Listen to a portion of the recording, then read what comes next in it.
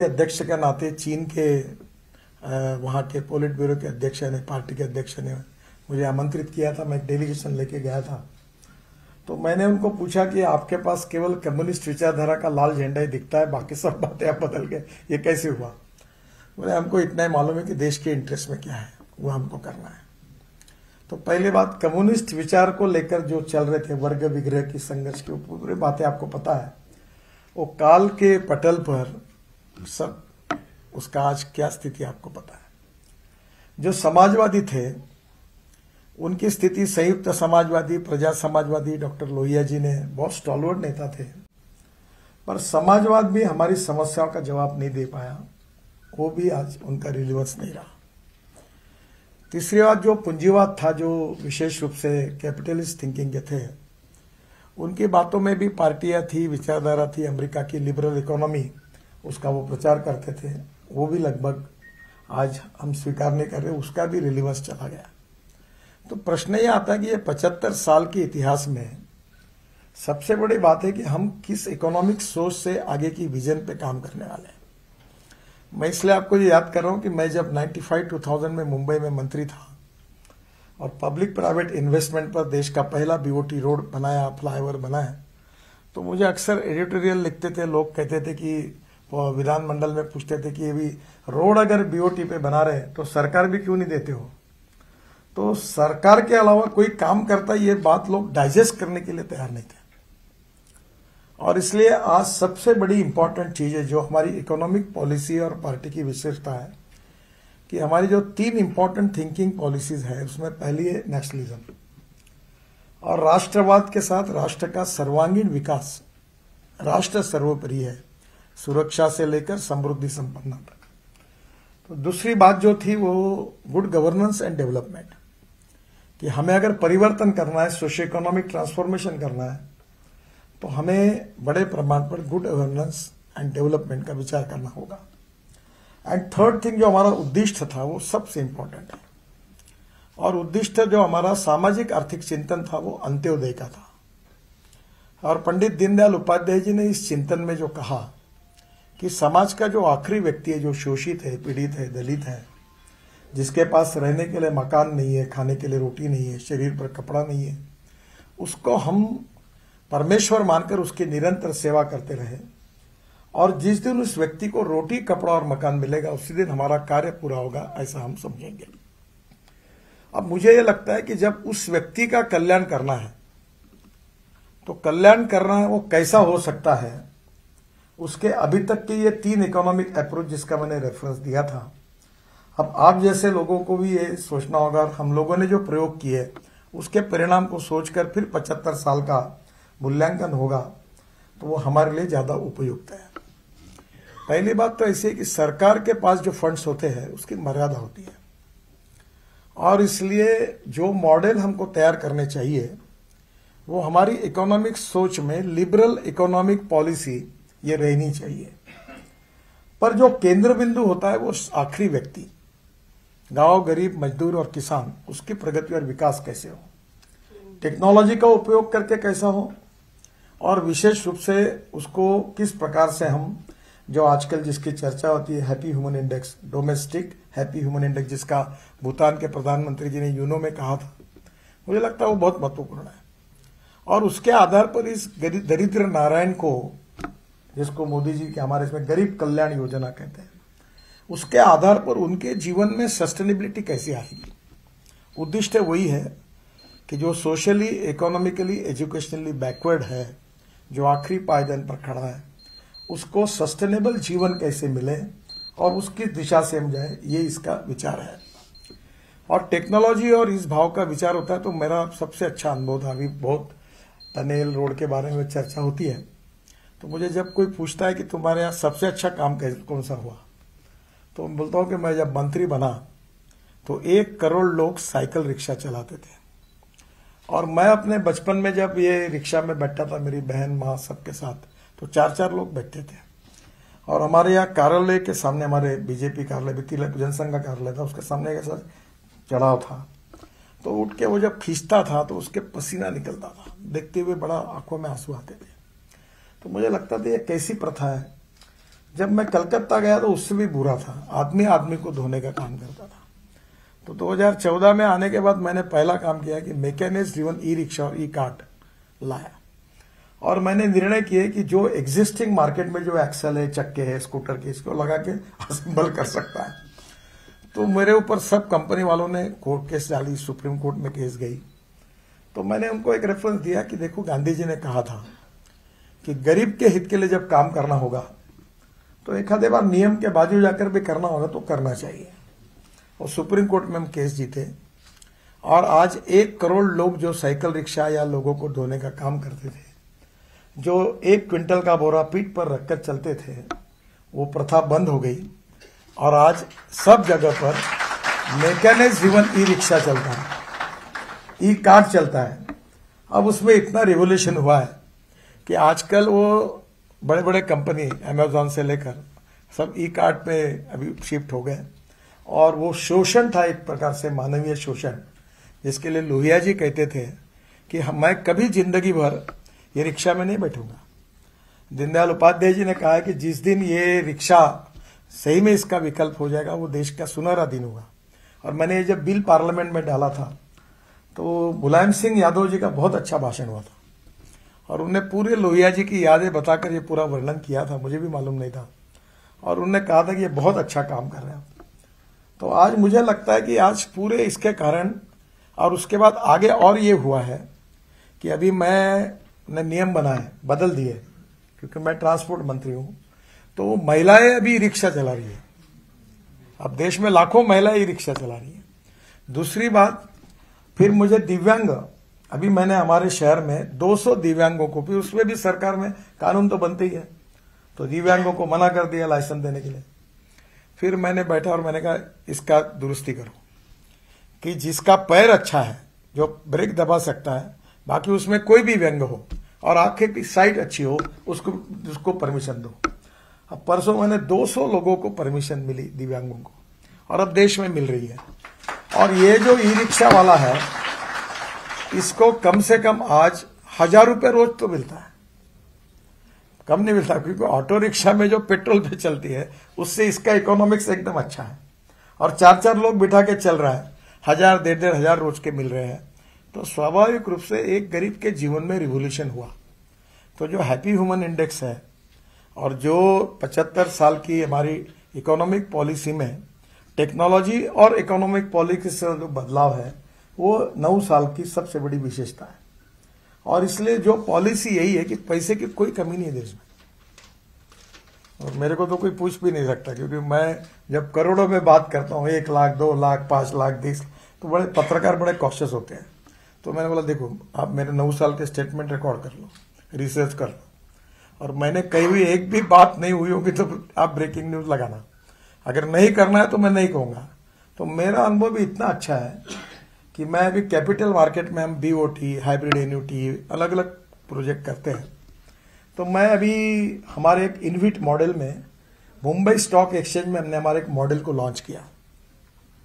और लॉन्च करने के बाद इस बार मैंने थोड़ा सा मेरे मन में आया कि अब धनवान लोगों के पैसे से रोड नहीं बनाना फॉरेन इन्वेस्टमेंट वगैरह थोड़ा लो प्रायोरिटी पे रखो। अब हम गरीबों के पैसे से रोड बनाएँगे और उनको प्रॉफिट देंगे। और इनविट मॉडल में हमने ये प्रोविज़न की कि जो इनविट मॉडल में हमारे बॉन्ड इशू लेगा, उसको 8.05 परसेंट इंटरेस्ट पर ईयर मिलेगा और हर महीने में उसके अकाउंट में इंटरेस्ट जमा होगा। अब में से बहुत से लोग रिटायर्ड लोग देख रहे हैं मुझे। तो ज़रूर इस मॉडल में इन्वेस्ट करिए, क्योंकि बैंक के डिपॉजिट में आपको साढ़े पाँच परसेंट मिलेगा। यहाँ eight point zero five percent monthly और ट्रिपल ए रेटिंग है जाएगा। हमारा अभी इनकम इकतालीस हज़ार करोड़ है और अभी बाद में एक लाख तीस हज़ार करोड़ चार साल में हो जाएगा। तो कोई पैसे की गारंटी फुल तो हमने जब ये बॉन्ड इश्यू लाया तो दस दिन के लिए था। और दस दिन के लिए था तो जब मैं मैं थोड़ा गोवा चला गया था, परिवार के साथ, कुछ कार्यक्रम भी था और उधर था। तो पहले दिन सात घंटे में हमारा इनविट बॉन्ड का issue seven times over subscribe within seven hours तो वो डर गया हमारा फाइनेंस मेंबर वो बोले, सब पैसे आ रहे जल्दी आओ गोवा, मुंबई। बोला, ऐसे कैसे? जल्दी आओ। बोले, बंद करना पड़ेगा तो पैसे वापस कैसे करेंगे? दस दिन ये रहेगा तो कितने पैसे आएँगे? बोला, मैं आता हूँ। मैं दूसरे दिन सुबह उठ के सब कार्यक्रम करके मुंबई गया स्टॉक एक्सचेंज गया, वो बेल बजाई इशू क्लोज किया। तो सेवन टाइम्स ओवर सब्सक्राइब सात घंटे में हुआ था। तो प्रॉब्लम यह है कि सरकारी बजट से अभी इसका दूसरा अच्छा उदाहरण बताता जो हमारी सोच को बदलने वाला है। अगर समाजवादी और कम्युनिस्ट सरकारें रहती तो ज़िंदगी भी नहीं होता, क्योंकि उनकी सोच अलग प्रकार की थी। मोदी सरकार की और अटल जी के नेतृत्व में हमारी सरकार की सबसे बड़ी परिवर्तन जो 60 साल की कांग्रेस की इकोनॉमिक सोच थी और जो अटल जी के बाद मोदी जी के नेतृत्व में आज हमारी सोच है, इसमें जो चेंज है that is to be most important ये हमारा कारण है कि हमारे देश की इकोनॉमिक ग्रोथ एक्सेलरेट हुई है। अभी एक मथुरा में मैं वाटर रिसोर्सेस मंत्री था। तो मथुरा में 80 एमएलडी स्लज गंदा पानी। मथुरा में बहुत, माफ़ करिए मुझे, मैं जब गया हूँ तो गंदगी बहुत है। तो मैंने उस समय सोचा कि मैं एक प्रोजेक्ट तैयार करूँगा। तो प्रोजेक्ट हाइब्रिड एन्यूटी में तैयार किया। तो वहाँ मथुरा में रेलवे स्टेशन के बाजू में एक इंडियन ऑयल की रिफाइनरी है। तो मैंने उनको बुलाया कि आपको पानी कितना लगता है, कहाँ से लेते बोले यूपी इरिगेशन मिनिस्ट्री से लेते हैं। कितना पैसा देते बोले, छब्बीस करोड़। मैंने बोला, मैं आपको पानी देता हूँ, पाँच करोड़, छह करोड़ कम करके बीस करोड़ में। बोले, हमें क्या कहीं से भी लेंगे? अच्छा पानी मिलेगा तो। और हमने एक हाइब्रिड एन्यूटी में प्रोजेक्ट डाला। हाइब्रिड एन्यूटी में जो प्रोजेक्ट डाला, उसमें 40 percent from government and 60 percent from the investor.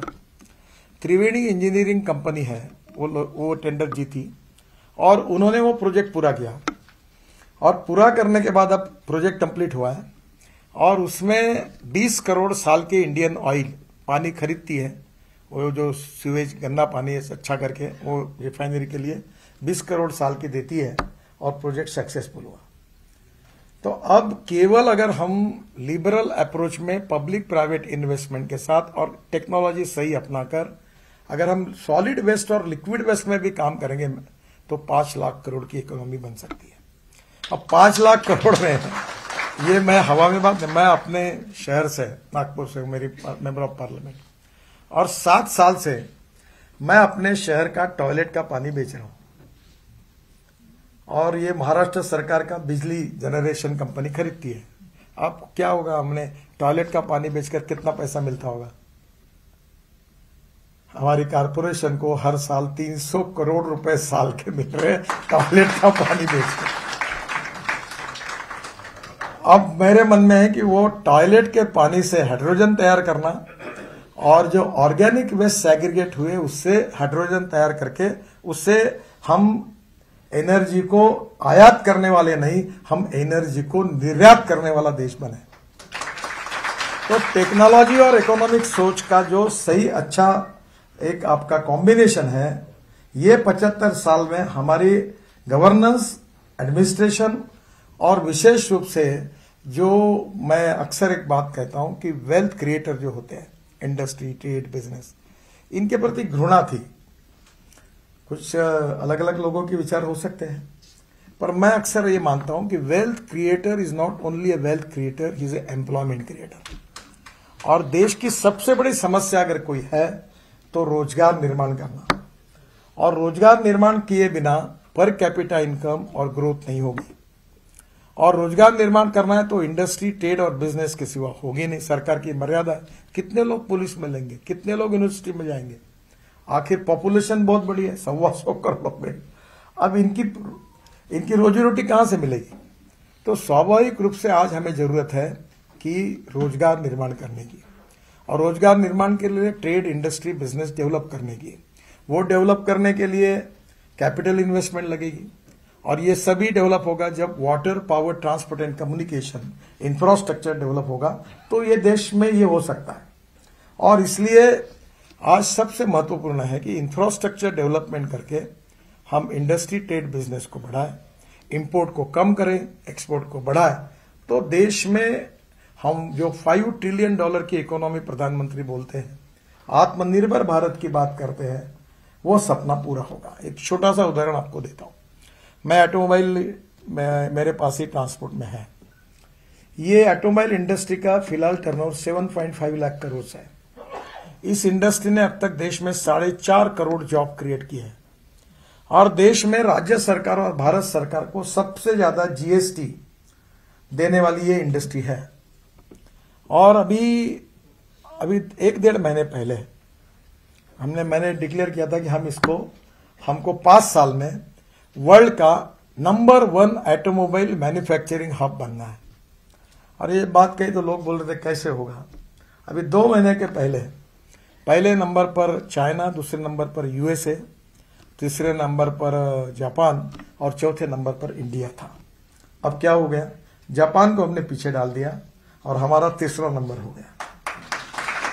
और मैं आपको पक्का बताता हूँ मैं कॉन्फिडेंट हूँ कि पाँच साल के अंदर वर्ल्ड ऑटोमोबाइल मैन्युफैक्चरिंग में इंडिया नंबर एक पर होगा। मैंने अभी पुणे में चाकण में इलेक्ट्रिक मर्सिडीज का लॉन्चिंग किया। तो जर्मन से वहाँ के वहाँ के मर्सिडीज के चेयरमैन आए थे। तो मैं उनसे बात कर रहा था। तो उन्होंने कहा कि अभी हमने पॉलिसी डिसीज़न लिया है कि हम केवल इलेक्ट्रिक की गाड़ियाँ बनाएँगे। पेट्रोल, डीजल की नहीं बनाएँगे।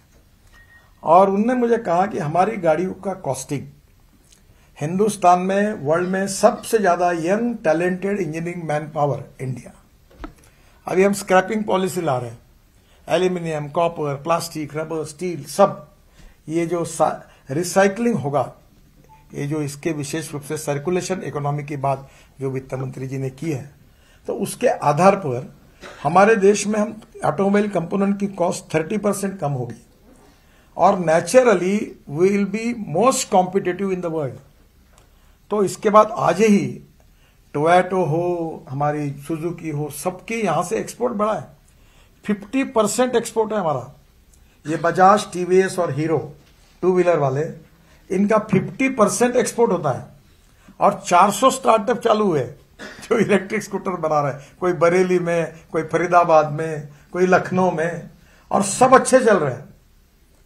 टेक्नोलॉजी के साथ और लिबरल इकोनॉमिक अप्रोच के साथ इतना बड़ा डेवलपमेंट हो रही है, जिससे एम्प्लॉयमेंट और ज़्यादा रोज़गार तैयार हो रहा है। और वही हमारी सबसे बड़ी इस 75 साल के इतिहास में इस नीतिगत बातों के आधार पर एक निश्चित रूप से बहुत बड़ी क्रेडिबिलिटी है कि India is the fastest growing economy in the world और इस अमृत काल की विशेषता यही है कि इकोनॉमिक ग्रोथ ये सबसे इंपॉर्टेंट है।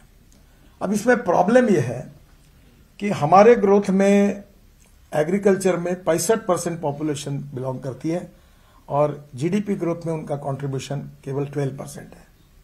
22 24 परसेंट मैन्युफैक्चरिंग सेक्टर है और करीब बावन से चौपन परसेंट सर्विस सेक्टर से है। तो हमारी सबसे बड़ी समस्या है कि हम एग्रीकल्चर की ग्रोथ को कैसे बढ़ाएँ। और इसलिए 200 एस्परेंट डिस्ट्रिक्ट हैं जो हमारे प्रधानमंत्री जी के नेतृत्व में निकाले गए हैं और 500 ब्लॉक्स हैं। जो सोशली इकोनॉमिकली एजुकेशनली बैकवर्ड है। और इनको समृद्ध बनाना, संपन्न बनाना, यहाँ खेती को समृद्ध, संपन्न बनाना, ये सबसे बड़ी टास्क है। और मैं लगातार 2004 से मैं इस विषय पर लगातार काम कर रहा हूँ। अब मुझे कॉन्फिडेंस आया है। हमारे आदरणीय नीति आयोग के मेंबर बैठे हैं। जिन्होंने बहुत अच्छा काम किया। अब मुझे ये बात पहले क्या है कि कोई भी आउट ऑफ़ बॉक्स बेचना बहुत कठिन होता है। और सरकार को तो बहुत कठिन होता है, क्योंकि हर आदमी ऐसे ही चलता है। वो इधर उधर नहीं देखता। तो आउट ऑफ़ बॉक्स चीज़ों को बताने में कठिनाई होती है। पर अब धीरे धीरे ये हुआ है कि diversification of agriculture towards energy and power sector ये सक्सेस स्टोरी बन गई। अब देश में, अब बिहार में भी फैक्ट्री खुल रही है इथेनॉल की। 20 परसेंट इथेनॉल पेट्रोल में जा रहा है। इसका फ़ायदा क्या हुआ? आज पूरे यूपी में शांति क्यों है? हमारी 179 पार्लियामेंट्री कॉन्स्टिट्यूंसी ऐसी है जहाँ शुगर कैन फार्मर्स डिसाइड करते हैं पॉलिटिक्स को। ये पूरा पश्चिमी उत्तर प्रदेश, पूर्वी उत्तर प्रदेश, उधर पूरा हमारा महाराष्ट्र का वेस्टर्न महाराष्ट्र, मराठवाड़ा, उधर कर्नाटक पूरा, मैं अभी बेलगांव में था चुनाव में। हंड्रेड परसेंट शुगर कैन एक एक पूरा ऊपर से मैं हेलीकॉप्टर देखता था, कोई दूसरा क्रॉप ही नहीं दिखता था। और शुगर में हम सरप्लस है। हमारे देश में हम 380 लाख टन शुगर तैयार करते हैं। हमारी रिक्वायरमेंट 280 लाख टन है और हर साल 80 लाख टन हमारा बढ़ेगा। तो हमारे पास अगर ऐसी बढ़ती हुई शुगर रहेगी और ब्राज़ील में शुगर का रेट बाईस रुपए किलो और हमारे यहाँ बत्तीस रुपए किलो और हमारे पॉलिटिकल कंपटीशन के कारण उत्तर प्रदेश में हर सरकार आती है। लेना देना कुछ नहीं, पैसे इनको देना नहीं, कुछ नहीं रेट बढ़ा देते हैं। अब वो इतना इकोनॉमिक्स हो गया फैक्ट्री बंद पड़ी अब। क्योंकि सौ रुपए का रॉ मटेरियल खरीदी करके नाइन्टी नाइन रुपीज़ का फिनिश प्रोडक्ट बेच के कोई प्रॉफिट में आ नहीं सकता। इथेनॉल ने बचाया और आज इथेनॉल की इकोनॉमी बनी जिसके कारण पूरे फार्मर्स आज कम से कम, आज कई रोड पर नहीं है, और उनको दो पैसे मिल रहे उनके गन्ने के पैसे मिल गए। अब हमने इथेनॉल के साथ फ्लेक्स इंजन ला रहे हैं अगस्त में। वो ऐसा है कि टोयटो के कैमरी का मॉडल था। तो वो उसमें जो था, वो पेट्रोल पे चलती थी, चालीस टक्के बिजली तैयार करती थी। अब जो टोयटो, सुजुकी और सबके मॉडल आ रहे हैं, हमारी हीरो, बजाज और टीवीएस की स्कूटर ऑटो रिक्शा भी आ गई है, केवल इथेनॉल के पंप शुरू करने हैं। वो ऐसा है कि इथेनॉल का भाव साठ रुपये लीटर है। और इथेनॉल पर हंड्रेड परसेंट अब ये चलेगी, पेट्रोल पे नहीं। तो उसमें क्या होगा कि सिक्सटी परसेंट इथेनॉल पर और वो फोर्टी परसेंट बिजली तैयार करेगी। तो सिंपल लैंग्वेज में आपको यह समझा दू कि पंद्रह रुपए लीटर पेट्रोल के भाव से आपको पेट्रोल मिलेगा, उतना एवरेज जो मिल रहा है आपको, उसका भाव पंद्रह रुपए लीटर पेट्रोल होगा। यानी आप समझ लीजिए कितना बड़ा इकोनॉमिक एडवांटेज कंज्यूमर को है। Import substitute cost effective pollution free indigenous अभी कोयले से मिथेनॉल बना। डॉक्टर सारस्वत इसमें काफ़ी काम कर रहे हैं। मैंने बंगलोर में कर्नाटक स्टेट कारपोरेशन के 20 बसेस को 20 परसेंट मिथेनॉल ऐड करके चलाए। और हमारे यहाँ कोल लो क्वालिटी का कोल अवेलेबल है। और आपको मुझे पायलट प्रोजेक्ट सक्सेसफुल हो गया। मिथेनॉल का वो पच्चीस रुपये और स्वाभाविक रूप से डीजल का एक सौ दस आप देखो कितना फ़र्क पड़ता है। और हमारे देश में कोल है और मिथेनॉल के बाद एक डीएमई बनता है। और डीएमई हम twenty two twenty five thirty percent हम एलपीजी में डालेंगे तो हमारा गैस सिलेंडर सवा सौ, डेढ़ सौ रुपये सस्ता होगा। तो आज मिथेनॉल की अशोक लेलैंड की ट्रक लॉन्च हो गई। अब मैं आसाम की सरकार के पीछे लगा हूँ कि आसाम पेट्रोलियम सौ टन मिथेनॉल रोज बनाता है और मुंबई में आरसीएफ बनाती है। तो जहाँ जहाँ मिथेनॉल अवेलेबल है, वहाँ वहाँ मिथेनॉल पे ट्रांसपोर्ट शुरू करें। इसके बाद जो सबसे इंपॉर्टेंट है इलेक्ट्रिक अब कोई बोलता ही नहीं मुझे। पहले पूछते थे, रास्ते में गाड़ी चार्जिंग खत्म हो गया, बंद पड़ी तो कैसा होगा, ये होगा। इतने लोग सवाल पूछते थे, अब कोई नहीं पूछता। अभी आज ही मेरे यहाँ टाटा के एमडी आए थे। मैं उनके साथ बैठकर एक नया प्लान कर रहा हूँ ट्रांसपोर्ट का। तो ऐसी चर्चा कर रहा था। बोले वेटिंग लिस्ट है। बोला कैपेसिटी बढ़ाओ। तो आज इलेक्ट्रिक फोर व्हीलर में वेटिंग लिस्ट आई है। देखो, एक सौ बीस का पेट्रोल जहाँ खर्चा होता है, वहाँ दस रुपए की बिजली। और आपके घर में अगर आपने सोलर पैनल लगा दिए ऊपर, और आपके घर में अगर चार्जिंग करना शुरू कर दिया तो चार रुपए आएगा। तो कितना सेविंग होगा मिडिल क्लास का हायर मिडिल क्लास का? कार और स्कूटर घर के घर रात को चार्ज हो जाएगी। बसेस आ रही पाँच साल के अंदर देश में आपको डीजल बस दिखेंगी नहीं, सब बसेस इलेक्ट्रिक की आएगी। और इससे पोल्यूशन भी कम होगा। और इसलिए मैं आपसे यही कहना चाहता हूँ कि इसमें हमने लिबरल इकोनॉमी में पब्लिक प्राइवेट इन्वेस्टमेंट को इन्वॉल्व किया है। हाईवे में इन्वॉल्व किया है। हाईवे के बारे में तो मुझे ज़्यादा कुछ बोलने की ज़रूरत नहीं, क्योंकि आपको अनुभव होगा। देश के कहीं भी जाइए। अभी केवल दिल्ली में हम पैंसठ हज़ार करोड़ के काम कर रहे हैं। दिल्ली को डिकंजेस्ट करने के लिए और दिल्ली का पोल्यूशन कम करने के लिए। और ये लगभग दिसंबर तक हो जाएँगे, इसकी लिस्ट है मेरे पास। ये टोटल लिस्ट है पैंसठ हज़ार दो सौ बारह करोड़। और इसमें इतने बड़े बड़े प्रोजेक्ट्स हैं कि आज दिल्ली से देहरादून मुझे लगता है आठ नौ घंटे लगते थे, दिसंबर के बाद दो घंटे में। हवाई जहाज़ बंद हो जाएँगे देहरादून। दिल्ली से हरिद्वार सात घंटे लगते थे डेढ़ घंटे में। दिल्ली से अमृतसर चार घंटे में। दिल्ली से कटरा छह घंटे में। श्रीनगर आठ घंटे में। और दिल्ली से मुंबई बारह घंटे में। दिल्ली से जयपुर सवा दो घंटे में। चेन्नई से बेंगलोर दो सवा दो घंटे में। और बेंगलोर से मैसूर पहले चार घंटे, साढ़े तीन अभी एक घंटा दस मिनट में। तो टोटल चेंज हो गया और ऐसे हम छत्तीस ग्रीन एक्सप्रेस हाईवे बना रहे ये जो हम कहते थे ना कश्मीर से कन्याकुमारी तक वो बहुत अच्छी बात हो रही कि मनाली आप लोग गए हैं सब लोग। तो मनाली में रोहतांग पास जाने के लिए साढ़े तीन घंटा लगता था। अब अटल टनल बनी है, आठ मिनट में बाहर। साढ़े तीन घंटा का और आठ मिनट में। वहाँ से आने के बाद हम छह टनल बना रहे बिहार और हम मिलकर, हम आएँगे लद्दाख लेह में। फिर आशिया की सबसे बड़ी टनल झोजिला के अंदर बना रहे minus twenty four, minus twenty six degree पर काम कर रहे हैं। और आपको ताजुब होगा ये हमारी सरकार की विशेषता है कि चार बार हमने टेंडर निकाला और पाँचवें बार उसको कैंसिल किया और पाँचवें बार बारह हज़ार करोड़ एस्टिमेट कॉस्ट निकाली। और हम एक साल एसोसिएम करके ऑर्गेनाइजेशन दिल्ली में उनके साथ बैठे, टेक्नोलॉजी में सब बातों में काफ़ी रिसर्च करके काम किया, नई पॉलिसी बनाई और हमने इस काम में अभी 65 टू 70 परसेंट काम पूरा हुआ। जोजिला टनल में हमने पाँच हज़ार करोड़ बचाए और आज वो जोजिला के बाद झेड़मोर बन गई झेड़मोर के बाद श्रीनगर आएँगे। श्रीनगर से हम अठारह टनल बना रहे चौदह बन गई और वहाँ से फिर कटरा रोड पर आकर डायरेक्ट दिल्ली आएँगे।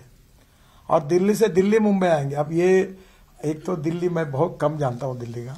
मुझे भी पता नहीं कि ये काम इतना अच्छा था। एक काम हमने किया जो दिल्ली की लाइफ लाइन बदल देगा। आप जब पंजाब, हरियाणा, उत्तराखंड, हिमाचल से आते हो तो पानीपत के बाद पेरीफेरियल रोड है। वहाँ से दिल्ली के डेवलपमेंट प्लान में एक U R two ring road था। वो रोड हमने बना लिया, वो डीडीए का था। ये यहाँ के एमपी मेरे पीछे लगते थे बोलते हमारा काम नहीं एनएच नहीं है। खूब पीछे पड़ा एक दिन। मैंने हाँ कह दिया।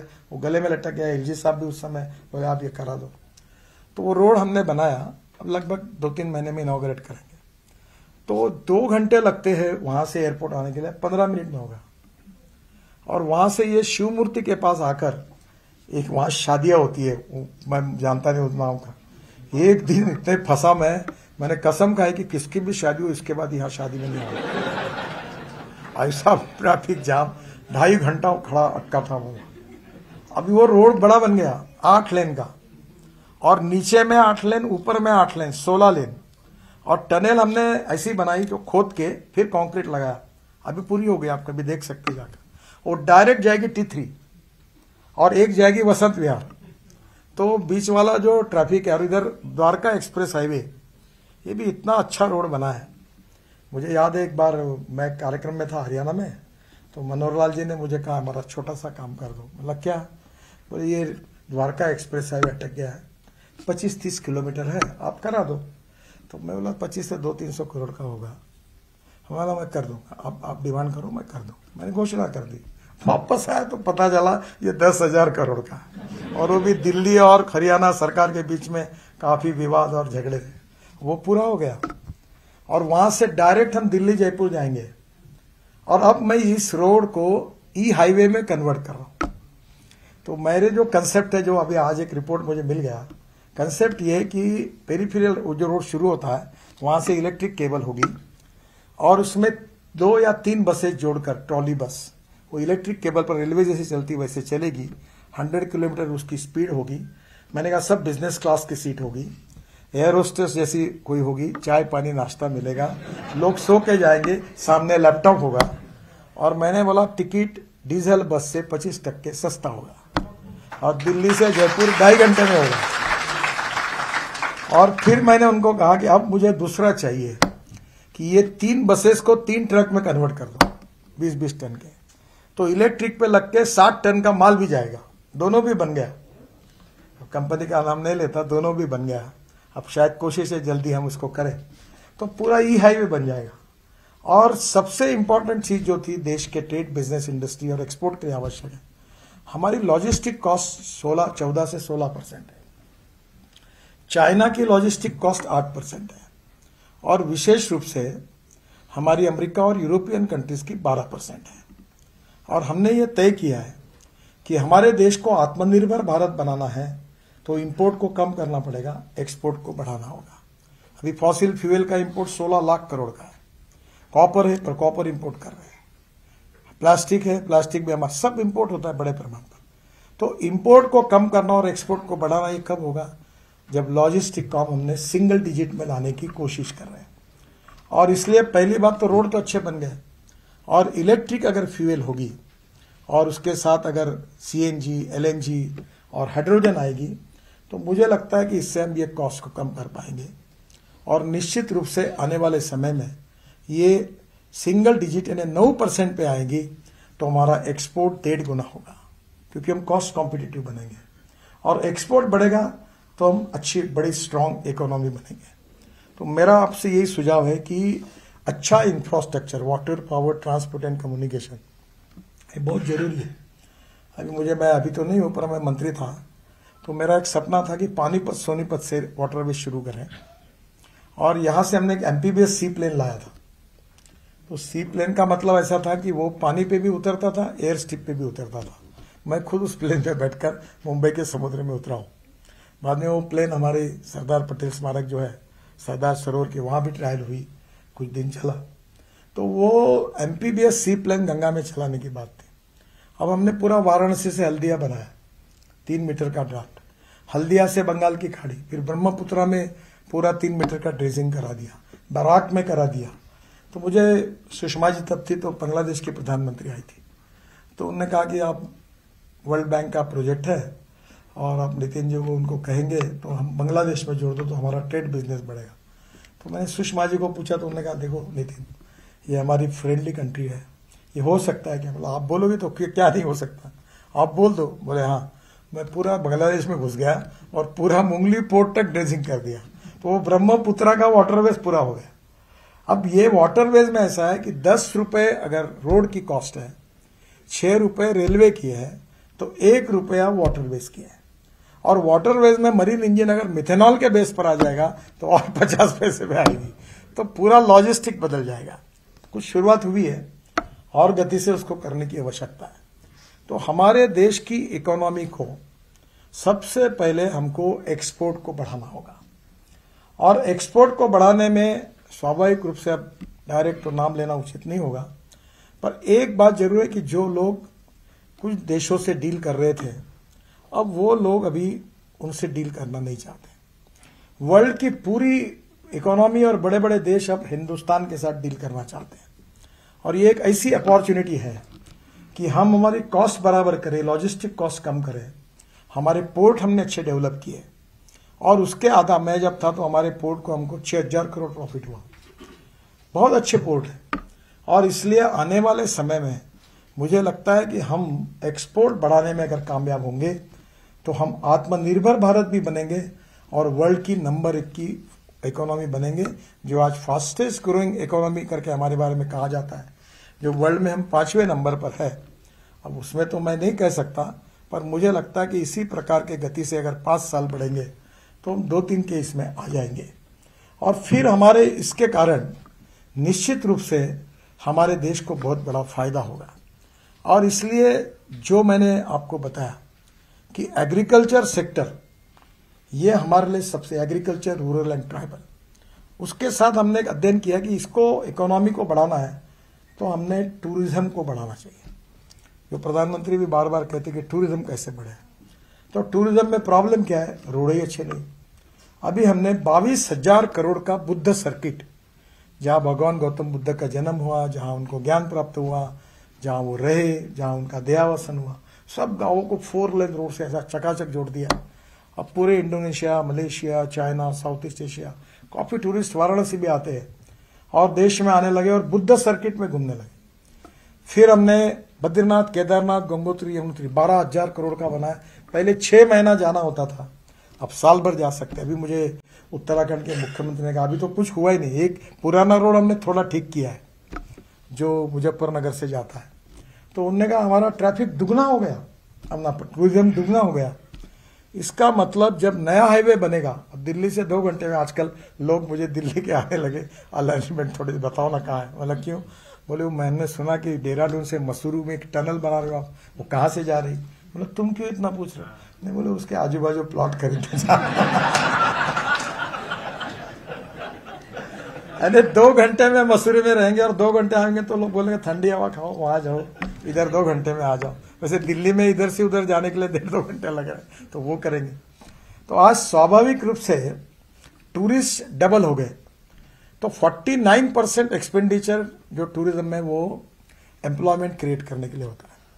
तो पहली बात तो है कि हमने ये महाराष्ट्र में एक पालखी मार्ग बनाया, बारह हज़ार करोड़ का पंडरपुर से देव आड़ंद और जितने रिलीजियस श्रद्धा स्थान थे, मैंने उसके पूरे नाम निकाले जैन, बौद्ध हमारे गुरुद्वारा, मस्जिद, सबके।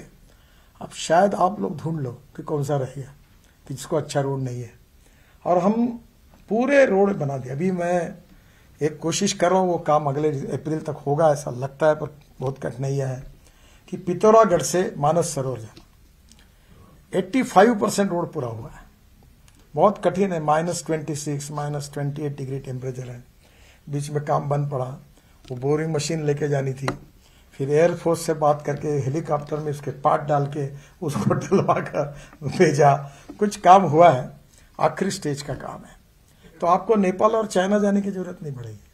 हिंदुस्तान से ही पिथौरागढ़ से हम डायरेक्ट आखिरी के सात आठ किलोमीटर केवल चाइना में जो रोड वहाँ है और वहाँ से डायरेक्ट मानस सरोवर जा सकेंगे और हिंदुस्तान के सब लोग मानस सरोवर जाना चाहते हैं तो एक मार्ग खुल जाएगा। बद्रीनाथ, केदारनाथ गंगोत्री हम वहाँ रोपवे भी बना रहे केदारनाथ में। और रोड भी बना रहे ऑल सीज़न रोड अभी छह महीने यात्रा होती है, इसके बाद एक साल होगी। अब थोड़ी बहुत अड़चने आती है। इकोलॉजी इन्वायरमेंट हम इकोलॉजी इन्वायरमेंट को प्रोटेक्ट करना चाहते हैं। हम एंटी इकोलॉजी एंड इन्वायरमेंट नहीं है, अभी मैं आपको बताता हूँ।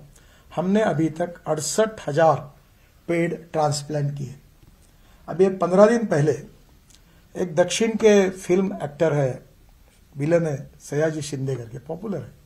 वो ये काम ही करते मिशन में मैंने उनको साथ लिया और औरंगाबाद के पास पैठन में हमने इक्यावन ट्री जो सौ साल पुरानी बड़ के पेड़ थे, उसको हमने प्लांटेशन सक्सेसफुली किया। ये द्वारका एक्सप्रेस हाईवे में बारह हज़ार ट्री का ट्रांसप्लांटेशन किया। और तीन करोड़ सत्यासी लाख, तीन मीटर के पेड़ लगाए। अब हमने बाम्बू का क्रैश बैरियर कर दिया। पहली बार वर्ल्ड में हमने जो बाम्बू है, उसका क्रैश बैरियर अप्रूव होगा। अभी एक जगह बन गया, सब जगह पर हम बना रहे हैं, ताकि इको फ्रेंडली हम बने। हमने दिल्ली के तीन कचरे के माउंटेन है। अभी गाजीपुर का आठ मीटर माउंटेन खाली चला गया, क्योंकि दिल्ली के रिंग रोड में यू आर टू में हमने तीस लाख टन कचरा रोड में डाल दिया। मैं दिल्ली मेरठ के समय डालना चाहता था, बहुत कोशिश करता रहा। पर किसने सैगरे उसी विवाद में आखिर रोड हो गया पूरा। तो अब हम लोग अहमदाबाद डोलेरो हाईवे में 30 लाख टन कचरा रोड में डाल दिया। तो स्वच्छ भारत अभियान में हमने कचरे में वैल्यू क्रिएट कर दी। वेस्ट टू वेल्थ मैं दो फिलोसॉफी की अक्सर चर्चा करता हूँ innovation entrepreneurship science technology research skill and successful practices we name it as knowledge and conversion of knowledge into wealth और दूसरी बात आग्रह से कहता हूँ no material is waste no person is waste it is depending upon the appropriate vision of the leadership it is depending upon the appropriate technology that you can convert waste into wealth तो अभी हम seven percent plastic ढांबर में डाल रहे हैं। Rubber के waste tyre import करने की अनुमति नहीं थी। मैंने इन्वायरमेंट मिनिस्टर को रिक्वेस्ट किया इंपोर्ट की परवानगी है। उसका प्लास्टिक रबर पाउडर निकालते हैं। और बिटुमिन का भाव तीस, पचास रुपए किलो लीटर पचास रुपए किलो। और ये भी तीस रुपए, पच्चीस रुपए किलो। अब पंद्रह परसेंट हमने अलाउ कर दी। तो इसके कारखाने खुल गए। तो आज हमारी कॉस्ट भी बच गई। अभी इसके साथ हमने अभी नया आया है कि हमारी जो डेहराडून का इंस्टीट्यूट है वो और सेंट्रल रिसर्च बोर्ड ऑर्गेनाइजेशन ने ये बिट्यूमिन से आ, ये राइस ड्रॉ से परली से बिट्यूमिन बनाया। परल is a big problem for Delhi. अभी पानीपत में एक अच्छा प्रोजेक्ट शुरू हुआ जो मेरा ड्रीम प्रोजेक्ट था जो इंडियन ऑयल ने शुरू किया है कि एक lakh litre ethanol per day और डेढ़ सौ टन बायोविटामिन। अब उन्होंने मुझे कहा कि बायोविटामिन नहीं बनाएँगे। मैंने बोला क्यों बोले, अब इसको हम बायो एविएशन फ्यूल बनाएँगे। अब वर्ल्ड में कानून आ रहा है कि आपको दो परसेंट पेट्रोलियम एविएशन फ्यूल में दो परसेंट बायो एविएशन फ्यूल डालनी पड़ेगी। तो हम वो बनाएँगे और वर्ल्ड में जितने बाहर के विमान आएँगे, उनको यहाँ से देंगे। तो अभी परल इसे बायो एविएशन फ्यूल बन रही अब उसमें उन्होंने जो बायो बिट्यूमिन का मुझे दिया, वो अप्रूव हो गया टेक्नोलॉजी। मेरी कल्पना है कि biomass by using biotechnology increase the productivity of biomass और ये परली cotton straw wheat straw rice straw bagasse इससे हम बायो सीएनजी और बायो एलएनजी के भी प्लांट आ रहे हैं। 135 प्लांट आ रहे हैं और 28 चालू हो गए जो सीएनजी और एलएनजी बनाएँगे। और उसके साथ ये हम बायो बिटुमिन बनाएँगे। हमारे देश को 80 लाख टन बिटुमिन लगता है। उसमें से 50 लाख टन इंडियन रिफाइनरीज देती है और 30 लाख टन हम इंपोर्ट करते हैं। तो हमारा इंपोर्ट करने के बजाय ये किसानों को हम 25 लाख का यूनिट देके जितना बनेगा उतना हम खरीद लेंगे, हमारी रिक्वायरमेंट है। तो नेचुरली किसान उससे संपन्न और समृद्ध होंगे। तो टेक्नोलॉजी का उपयोग करके एग्रीकल्चर रूरल सेक्टर को कैसे अच्छा करना टूरिज़्म का उपयोग करके नई एम्प्लॉयमेंट कैसे क्रिएट करना, और एग्रीकल्चर सेक्टर में जैसे स्मार्ट विलेजेस है स्मार्ट सिटीज़ है, वैसे स्मार्ट विलेजेस कैसे तैयार करना इंडस्ट्रियल क्लस्टर्स बनाकर रोड अच्छे बनाकर, वहाँ डेवलपमेंट कैसी लाना? मैं बहुत बार एक बात का ज़िक्र करता हूँ। American president John F Kennedy ji की बात को दोहराते रहता हूँ कि उन्होंने कहा था कि American roads are not good because America is rich but America is rich because American roads are good prosperity road से आती है। और अब जो आप अरुणाचल, मेघालय, त्रिपुरा जाइए, इतने रोड बन रहे हैं। आप कहीं भी जाइए, किसी को भी पूछो, बताएगा, नहीं, अच्छे रोड बन रहे एयरपोर्ट बन रहे रेलवे बन रही। जिसके कारण बड़े प्रमाण पर टूरिज़्म बढ़ रहा है, लोगों को सुविधा प्राप्त हुई है, कैपिटल इन्वेस्टमेंट आ रही है, इंडस्ट्री डेवलप हो रही है, ट्रेड बिज़नेस बढ़ रहा है मल्टी मॉडल हम हम दो लाख करोड़ के लॉजिस्टिक पार्क बना रहे हैं। दो सौ साठ ropeway cable car final एक लाख तीस हज़ार करोड़ की बना रहे हैं। हम लोग 670 रोड साइड एम्यूनिटीज बना रहे हैं, जिसमें डायरेक्ट 170 का काम शुरू है। इसमें हेलीकॉप्टर उतर सकता है ड्रोन उतर सकता है। ये सोचा है कि दिल्ली एयरपोर्ट पर उतरेंगे, फिर ड्रोन टैक्सी होगी, चार लोग सामान लेके उसमें बैठेंगे, उससे उड़ेंगे और गुड़गांव के उधर जाके उतरेंगे। जैसे मैंने कहा, ये दिन दूर नहीं है। अभी 200 किलो तक हो गया ड्रोन मैंने ही लॉन्च किया था। अब वो थोड़ा बढ़ जाएगा तो ये शुरू हो जाएगा ड्रोन टैक्सी का। तो फ्यूचरिस्टिक टेक्नोलॉजी जो है, जो सस्टेनेबल डेवलपमेंट के लिए उपयोगी होगी उसका उपयोग करके पब्लिक प्राइवेट इन्वेस्टमेंट को और एंटरप्रेन्योरशिप को इनकरेज करते हुए इनकरेज करते हुए हम इकोनॉमिक ग्रोथ और डेवलपमेंट को कैसे एक्सेलरेट करें, ये हमारी, ये पचहत्तर साल की सबसे बड़ी विशेषता रही है। सरकार के बजट का तो अभी दो लाख सत्तर हज़ार करोड़ मेरा बजट है, पर मैं पाँच लाख करोड़ के काम करता हूँ। इसका कारण मोनिटाइजेशन करता हूँ। तो मुझे यही लगता है कि अब इस प्रकार से गति बढ़ेगी। और गति बढ़ने के बाद इसके कारण एक दूसरे से एक चीज़ जुड़ी हुई है। और एग्रीकल्चर रूरल ट्राइबल इसमें भी हमने जो कोशिश की है कि वहाँ मेडिकल कॉलेज साढ़े छह सौ बन रहे हैं। आई एम बन रहे हैं।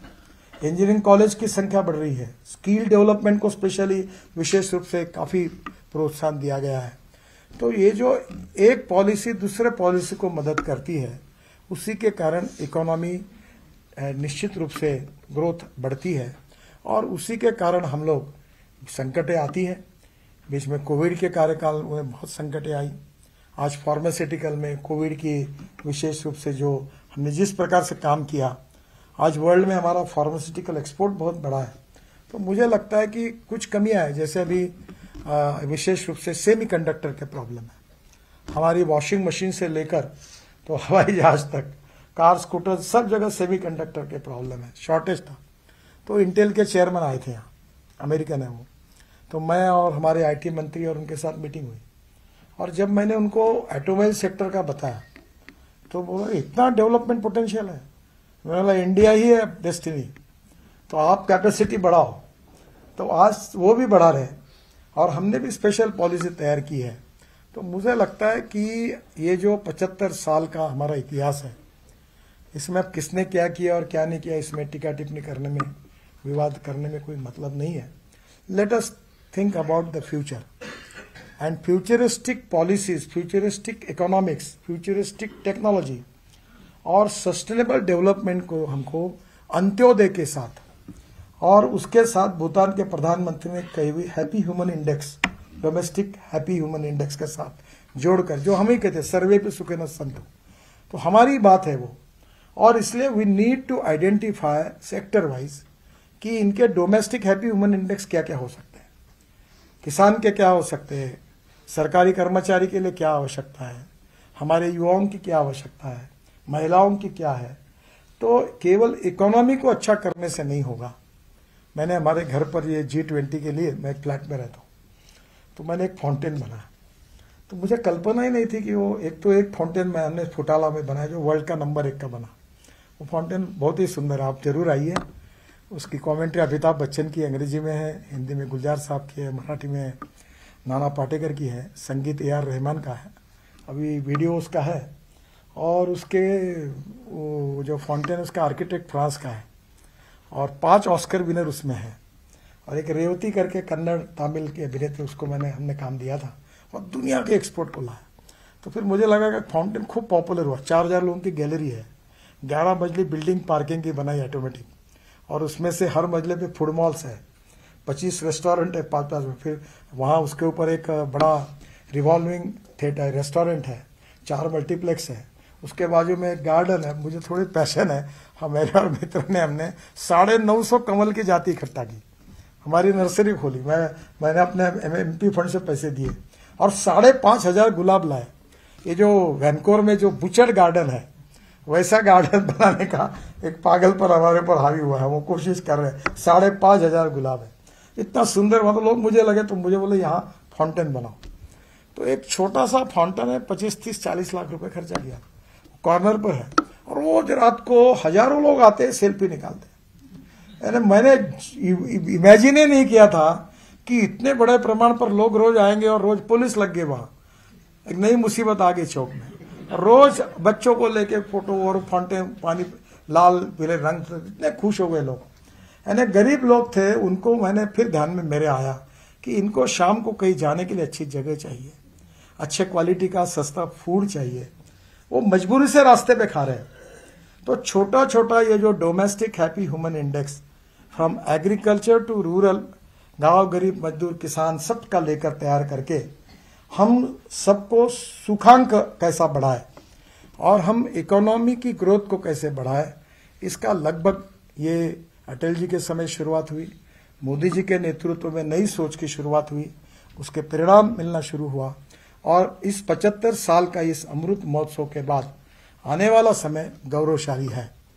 मुझे कभी लगता है कि विवेकानंद जी दृष्टा थे। उन्होंने जो अमेरिका में कहा था कि अठारहवीं सदी जो थी वो मुगल सल्तनत की थी। उन्नीसवीं सदी जो थी, अंग्रेज़ों की थी, सब जगह यूनियन जैक था।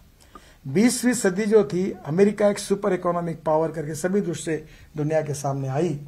पर अब मुझे विश्वास लगने लगा है, पचहत्तर साल पूरे होने के बाद, कि इक्कीसवीं सदी जो है, वो हिंदुस्तान की है और भारत की और निश्चित रूप से ज्ञान, विज्ञान, तंत्र विज्ञान innovation entrepreneurship science technology export ये सब बढ़ेगा। पर इसके अलावा हमारे पास और एक चीज़ बहुत बड़ी है, वह है इतिहास, संस्कृति और विरासत। मूल्याधिष्ठित जीवन पद्धति, परिवार पद्धति, योग विज्ञान, आयुर्वेद जैसी अनेक बातें। ये एडिशनल है और इधर भौतिक प्रगति के साथ, आध्यात्मिक वैल्यूज़ और जीवन मूल्यों के साथ दोनों का मिश्रण करके हम विश्व गुरु बन सकते हैं, विश्व को दिशा दे सकते हैं। इतनी क्षमता हमारे देश में है। और आप जैसे और हमारे जैसे लोगों के मन में यही सपना है, इस अमृत काल से ये सपने का उड्डान शुरू हुआ है। आगे आगे आगे देखो क्या होता है। वैसा मुझे लगता है, अभी तक हुआ ये तो ट्रेलर है, सही फ़िल्म शुरू होना बाकी है।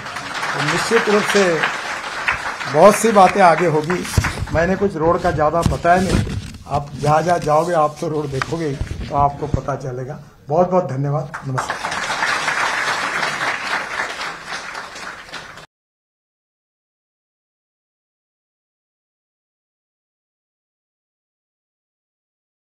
Thank you so much, sir, for sharing the secrets of remarkable achievements this country has witnessed under your able leadership.